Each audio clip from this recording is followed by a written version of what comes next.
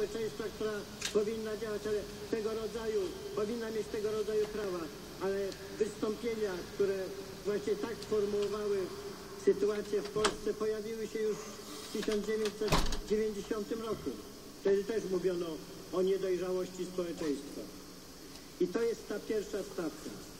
Pierwsza stawka, którą musimy wygrać. Jest jasne, w Polsce ma być demokracja. Wszystkie strony sporów mają prawo wyłaniać jeżeli zwyciężą.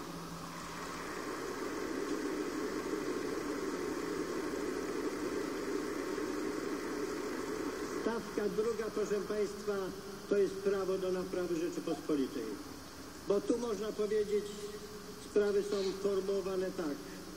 No dobrze, no może się zdarzyć, że wygrali, ale wtedy nie mają żadnego prawa do tego, by realizować swoje plany.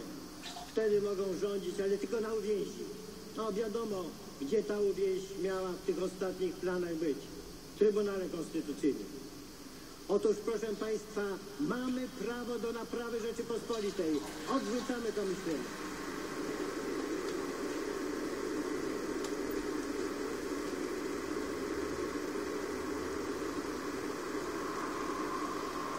Stawka trzecia to jest suwerenność, o której już mówiłem. Ale dodam tutaj jakby nowy element, można to potraktować jako czwarty punkt. To jest prawo do tego, by bronić się przed eksploatacją, bo Polska jest eksploatowana. Polska nie może być zasobem taniej siły roboczej. Polski nie można wyprowadzać ogromnych pieniędzy bez podatku. Powtarzam, Polska nie może być eksploatowana i musi się przed tym bronić. I mamy do tego prawo. A nasi wewnętrzni i zewnętrzni przeciwnicy nam tego prawa odmawiają. To zwolennicy znanej tezy, że Polska jest brzydką panną bez posady. To jest najbardziej szkodliwa teza, najbardziej szkodliwe powiedzenie od czasów Polska nie rządem stoi. Odrzucamy je w. Ale koleżanki i koledzy, często nawet w środowiskach zbliżonych do nas mówi się tak, macie rację, merytorycznie macie rację, no ale łamiecie konstytucję. Otóż nie, proszę Państwa, nie łamiemy konstytucji, to też trzeba przekazywać ludziom. Trzeba wiedzieć, jak naprawdę było. W czerwcu zeszłego roku tak zwana poprawka czerwcowa doprowadziła do tego, że Sejm poprzedniej kadencji miał wybrać pięciu sędziów w miejsce tych, których kadencja kończyła się już po wyborach. Czyli w ciągu tych ośmiu lat miano wybrać 14 sędziów, bo dziewięciu już wybrano. Praktycznie cały skład Trybunału. Otóż było to sprzeczne z przyjętą już i w jakimś sensie skonstytucjonalizowaną praktyką, ale także z wykładnią celowościową Konstytucji. Jeśli wybrano metodę powoływania sędziów przez Sejm, można dyskutować, czy dobrą, ale taka jest, to jest oczywiste, że ta metoda musi prowadzić do pluralizmu składu Trybunału. W Polsce nie przyjęto takich rozwiązań jak na przykład w Niemczech, że raz się wybiera z chadecji, raz socjaldemokracji, że to jest przemienne. Wobec tego musi być zachowana zasada choćby w stosunku do kolejnych kadencji. I dlatego, Szanowni Państwo, prezydent Rzeczypospolitej nie tylko miał prawo, ale miał obowiązek odmówić zaprzysiężenia tych sędziów. To zresztą zapowiada.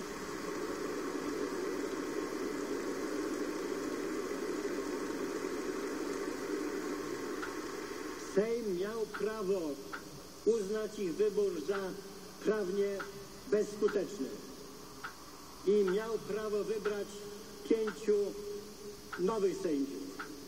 Trybunał Konstytucyjny tych uchwał nie mógł zakwestionować, a jego orzeczenie o tym, że trzech jest wybranych legalnie, a dwóch niekonstytucyjnie, niezależnie od jego merytorycznej błędności, nie działał wstecz, nie miało już znaczenia czy niedopuszczenie trzech sędziów do orzekania jest czystym bezprawiem. Czystym bezprawiem.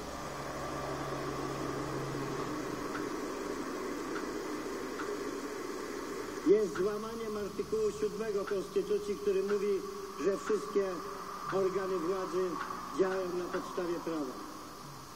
Już wtedy Trybunał szedł że tą stronę bezprawia, próbował uniemożliwić wybór poprzez tak zwane zabezpieczenie zmieniając całkowicie kierunek orzecznictwa w sytuacji, w której nie miał prawa tego dokonać. Przy niewłaściwych składach i wielu innych błędach formalnych. Ale przede wszystkim w ten sposób próbował przyjąć pozycję suwerena, czyli złamać zasadę zwierzchności ludu demokratycznego, podkreślam, demokratycznego państwa prawa i równowagi władz. To są wszystko zasady konstytucyjne.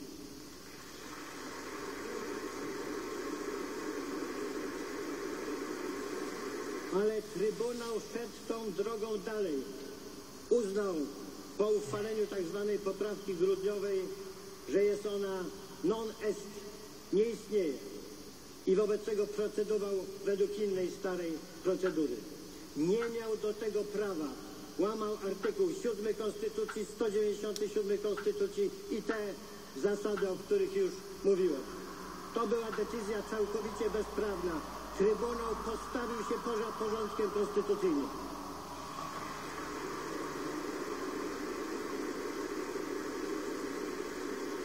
Powtarzam, to my dzisiaj bronimy konstytucji, a pan prezes Rzepliński jest głównym przeciwnikiem jej przestrzegania.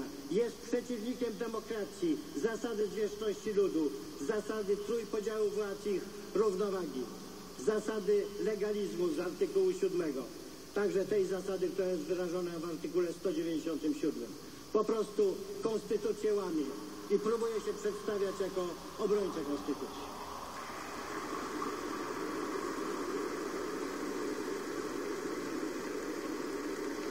Prawo i Sprawiedliwość po to, by realizować nasz program, by skończyć z tymi niepotrzebnymi sporami, tym politycznym awanturnictwem, była gotowa do różnego rodzaju kompromisów, oczywiście w ramach Konstytucji. Ale te kompromisy zostały odrzucone i dlatego będziemy szli swoją drogą. Takiej zasady, że w Holandii w ogóle nie ma Trybunału Konstytucyjnego i co więcej, prawo zakazuje oceniania przez sądy, czy ustawy są zgodne z Konstytucją, a w Polsce z zewnątrz mają nam określać nie tylko ramy prawne funkcjonowania Trybunału, ale jeszcze jego skład. Takich zasad nie przyjmiemy. To jest oczywiste. Nie jesteśmy kolonią.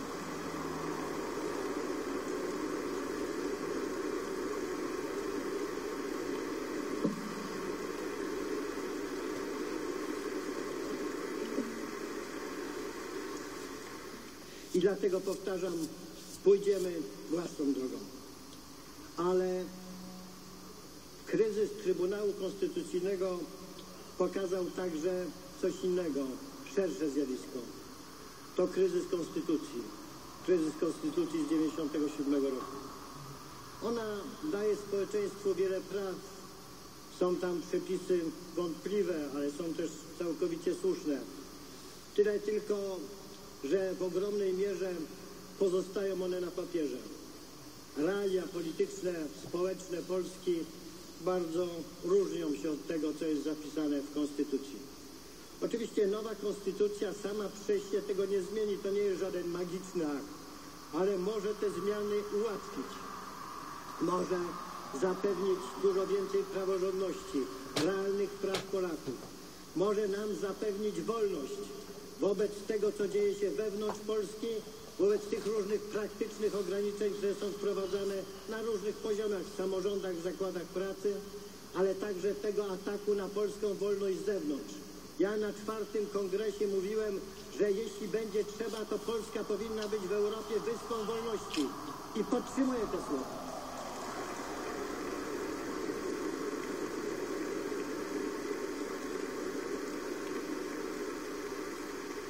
Nowa konstytucja powinna także zapewnić prawa narodu, właśnie suwerenność, określić naszą relację z Unią Europejską.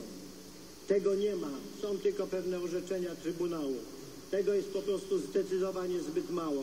regulacje są zbyt mało konkretne, zbyt ogólnikowe, pozwalają na różne interpretacje. I dlatego powtarzam, to jest wielka potrzeba. My wiemy, że w tej kadencji to się pewnie nie uda, ale mimo wszystko trzeba pokazać społeczeństwu, że jest alternatywa. Znów posługuję się tym słowem, ale ono jest naprawdę ważne, bo my przecież budujemy alternatywę wobec tego wszystkiego, co było złe w Polsce od roku 89. Trzeba pokazać, że alternatywa jest. I myśmy te działania w tym kierunku już podjęli. Już praca się zaczyna. I mam nadzieję, że z czasem przyjmie kształt pełnego projektu konstytucji. Da rezultaty. I będziemy mogli go pokazać społeczeństwu jako naszą propozycję. Propozycję dla Polski. Propozycję dla przyszłości. Dla budowy takiego społeczeństwa i takiej Polski, której chcemy. Musimy być tutaj aktywni. Musimy być aktywni, bo to jest naprawdę wielka potrzeba. Ale musimy być aktywni, Szanowni Państwo, także w innej sprawie, która skądinąd też ma pewien związek z Konstytucją. Mamy dzisiaj kryzys Unii Europejskiej. Referendum w Wielkiej Brytanii zdecydowało o wyjściu tego kraju, naszego sojusznika z Unii. To bardzo, bardzo złe wydarzenie. To dezintegracja.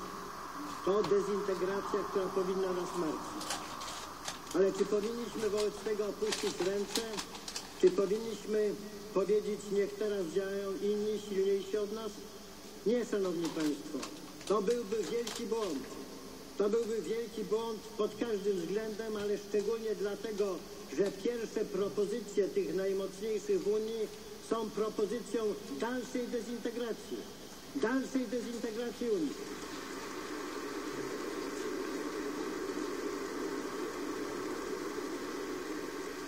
Nasza propozycja musi być dokładnie odwrotna. My musimy proponować reintegrację. Proces wychodzenia Wielkiej Brytanii z Unii Europejskiej jest długi, skomplikowany, obciążony ogromnymi niebezpieczeństwami, także niebezpieczeństwem rozpadu Zjednoczonego Królestwa. Nie sądzę, żeby w Wielkiej Brytanii, żeby w Anglii ktokolwiek sobie tego życzył. I dlatego trzeba wyciągnąć rękę. Trzeba dać szansę, dać szansę na reintegrację, ale możliwość jest tylko wtedy, jeżeli zmienimy Unię.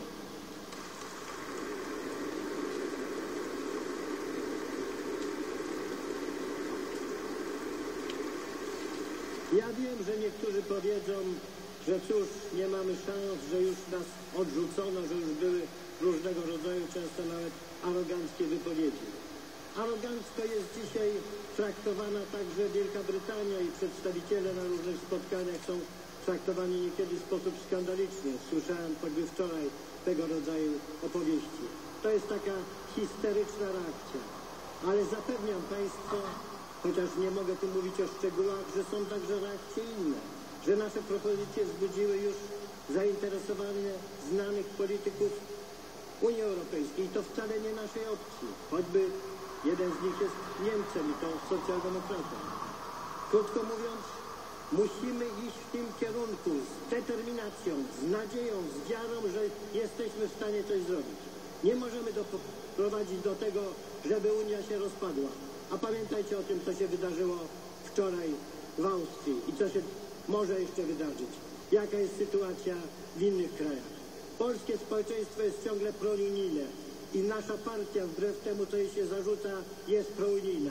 Ale chcemy Unii Narodów. Chcemy Unii, gdzie obowiązuje rzeczywiście zasada pomocniczości.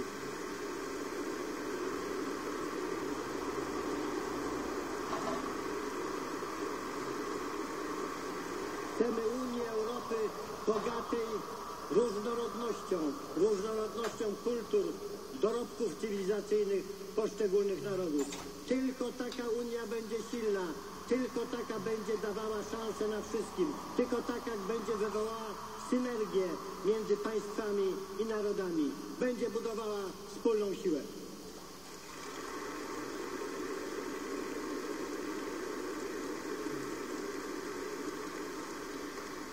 Prawo i Sprawiedliwość dziś jest ośrodkiem nie tylko rozsądnego, racjonalnego myślenia o Polsce.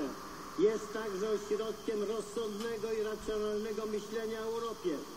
I musimy o tym wiedzieć. I nie powinniśmy mieć kompleksów.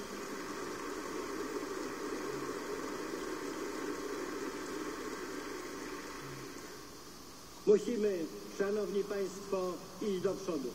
Powtarzam, musimy dotrzymać obietnic, musimy być kompetentni i uczciwi, musimy odrzucić kompleksy, wszystkie te nieszczęsne teorie, musimy odrzucić ostatecznie nieszczęsne koncepcje szkodnika Balcerowicza, postawić na Morawieckiego,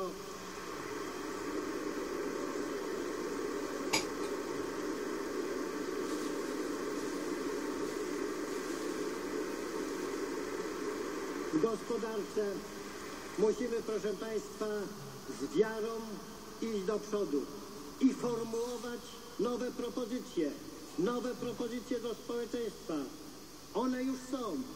Choćby taka propozycja jak ta, która odnosi się do pytania, co zrobić z tymi pieniędzmi, które pozostały w euro, w, przepraszam, w OFE, które dzisiaj w gruncie rzeczy tracą na wartości a które mogą być podstawą nowych, ważnych przedsięwzięć.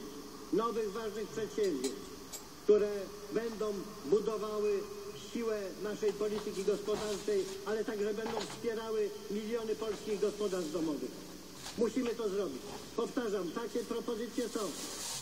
Drodzy Państwo, w ramach e, aktualności dnia wysłuchaliśmy fragmentu przemówienia prezesa Prawa i Sprawiedliwości, byłego premiera rządu, pana prezesa Jarosława Kaczyńskiego podczas trwającego dzisiaj Kongresu Prawa i Sprawiedliwości.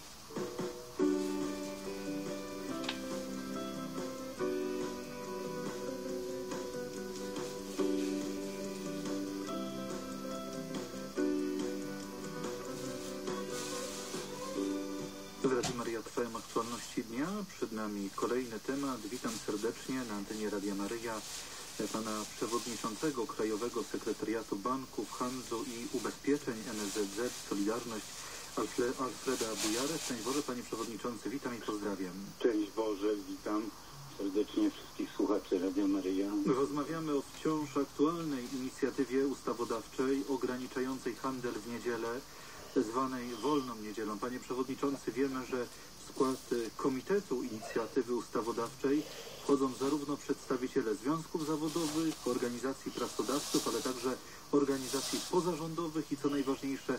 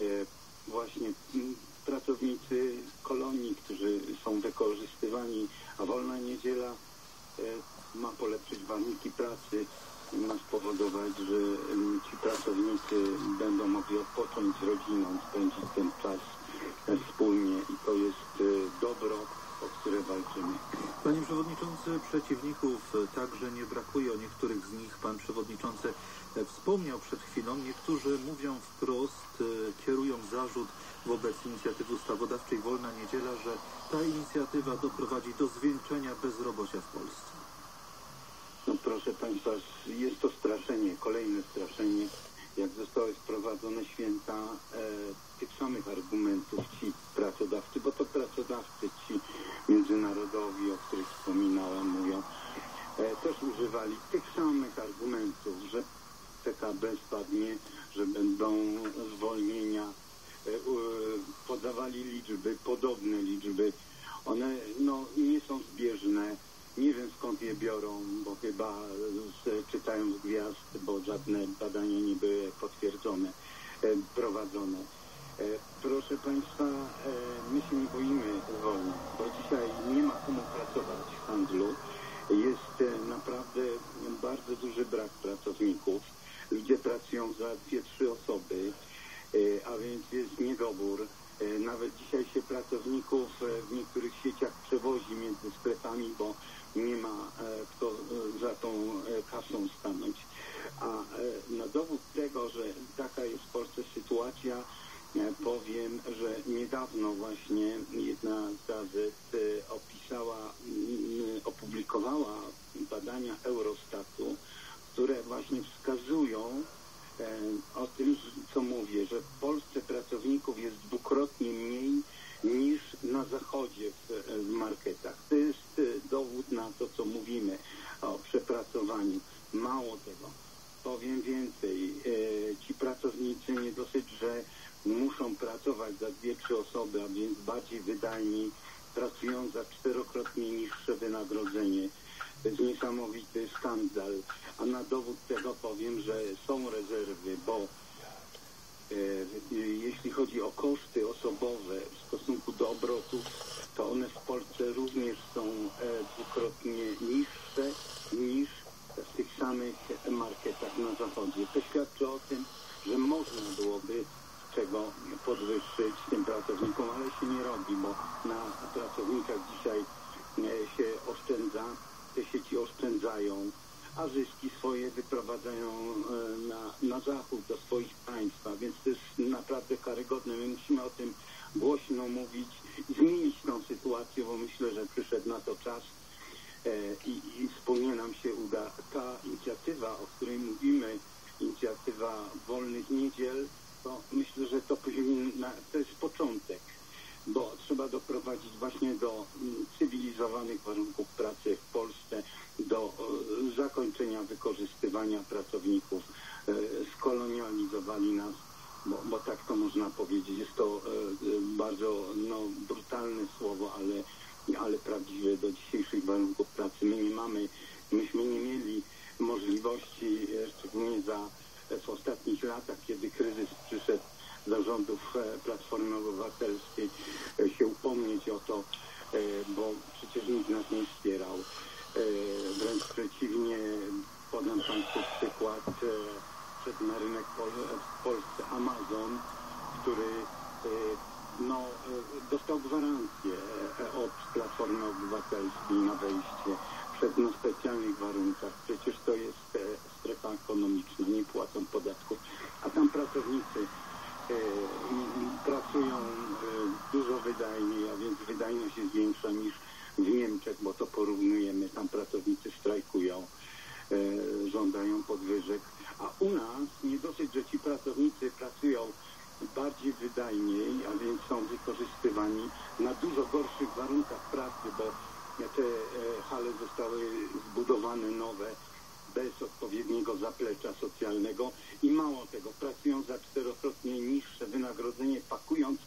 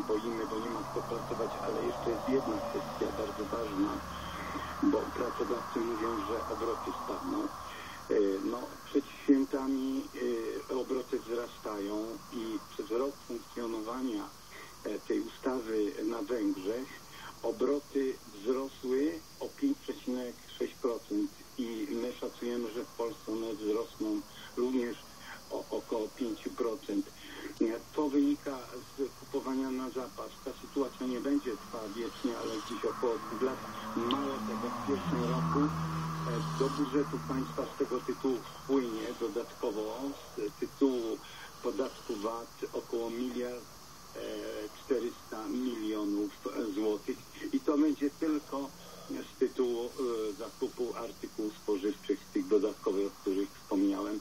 A ustawa, e, wracając do pytania ojca, tak, oczywiście zakłada wiele wyjątków, ale te wyjątki to są stacje benzynowe, to są sklepiki małe na, na dworcach autobusowych, lotni, e, portach lotniczych, to są kwieciarnie, to są sklepy piekarnicze, e, usytuowane e, przy piekarniach samych, po to, żeby dać możliwość temu rzemieślnikowi również e, sprzedania m, pieczywa świeżego w niedzielę do godziny 13. Tak jest na przykład w Niemczech. No, akurat e, są tylko dwie godziny wyznaczone, my już dajemy do godziny e, 13. Ale wszystkie inne e, sklepy e, no, będą musiały być e, zamknięte. E, Te wyjątki to są oczywiście szpitale, wiele, wiele jeszcze innych e, e, podmiotów, ale takich niezbędnych, które muszą być w takich miejscach, które muszą być otwarte. E, To nie będą sklepy wielkopowierzchniowe i myślę, że e, społeczeństwo to zrozumie i, i, i, i sami pracownicy mówią, że oni się nie boją, że obroty spadną, bo klient przyjdzie i kupi e, w innym dniu tygodnia i to jest e, chyba najważniejszy argument. Poważne e, i i jeszcze jest jedna kwestia. E, m, Nie kupimy za e, określoną sumę pieniędzy więcej w niedzielę. Mając e, do dyspozycji w portfelu 100 zł, to my za te 100 zł w niedzielę więcej nie kupimy. Nikt z pewnością nie będzie głodny chodził e, i e, bo przecież w Polsce można robić zakupy nawet w nocy, e, w soboty. Myśmy kiedyś jako Solidarność walczyli o no, sobotę i dzisiaj walczymy o niedzielę, ale myślę, że e, to się uda. Panie Przewodniczący, trwa w dalszym ciągu akcja zbierania podpisów pod projektem. Tak, e, e, jeszcze cały lipiec i sierpień będziemy zbierać. Ja z tego miejsca chciałbym bardzo serdecznie podziękować e, wszystkim e, słuchaczom, którzy e, się włączają w tą akcję, bo otrzymujemy takie indywidualne listy wypełnione. E, Za to serdecznie dziękujemy. Kościół e, w Polsce to przecież episkopat nas poparł. Komunikaty mm, e, z różnych e, diecezjach były na ten temat odczytywane. I stąd e, jest e, zaangażowanie różnych środowisk e, katolickich. Za to serdecznie dziękuję. Dziękuję wszystkim słuchaczom Radia Maryja, którzy do tej pory, do tej pory się włączyli w tą naszą akcję i proszę ich o, o jeszcze e, większe zaangażowanie, bo wszystko będzie zależało od ilości zebranych podpisów, a chcemy ich zebrać i pokazać e, drugiej stronie, że, że jest poparcie, bo, bo od tego będzie też wiele, wiele zależało. A mm, e, również mam gorącą prośbę do słuchaczy, którzy mm, mają swoich bliskich, kogoś z rodziny pracujących w handlu, żeby im powiedzieć, że taka inicjatywa jest prowadzona, e, że można e, na stronach Solidarności, również na stronie www.wolnaniedziela.pl e, wejść i pobrać materiały, między innymi najważniejszy formularz, formularz poparcia. I tak jak na tym formularzu e, jest podany e, adres e, Komitetu Inicjatywy Obywatelskiej, wysłać te formularze do nas. e, to, o to bardzo serdecznie prosimy. Kolejna inicjatywa i szansa to także pielgrzymka rodziny Radia Maryja na Jasną Górę. Panie Przewodniczący, 9 i 10 lipca uczestnicy tej pielgrzymki będą mieli możliwość złożenia swoich podpisów pod tym wnioskiem, inicjatywą e, ustawodawczą Wolna Niedziela w punktach wyraźnie oznaczone, że są to punkty Solidarności. Tak, e, za to serdecznie e, Bóg zapłać.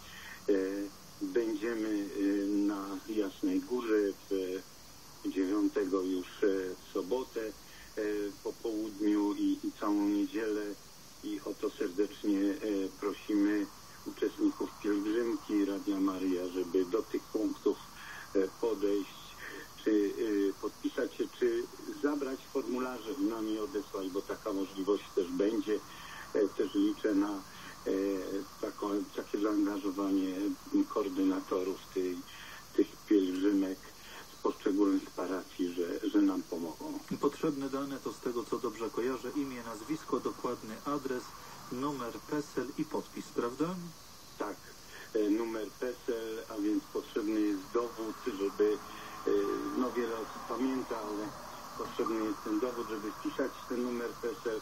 E, Proszę Państwa, nie bójmy się, e, te dane e, są chronione, e, jest cała procedura, którą musimy spełnić. E, One wpływają do nas, są przechowywane e, w pomieszczeniu zamkniętym, e, będą e, p- końcem e, sierpnia, myślę początkiem września, bo do 5 musimy złożyć te podpisy w Sejmie, będą u nas przechowywane, a następnie przekazane marszałkowi Sejmu i, i tam e, zdeponowane, a więc e, ochrona danych jest e, cały czas e, przestrzegana. Proszę się nie martwić, że, że one gdzieś wypłyną i tak dalej, bo takie również głosy do nas e, i, i telefony napływają.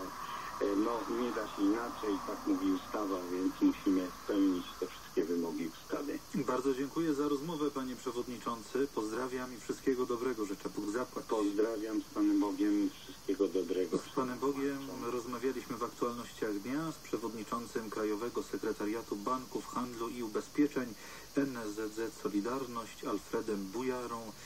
Inicjatywa ustawodawcza ograniczająca handel w niedzielę, wolna niedziela. Było to powtórzenie wczorajszych aktualności dnia.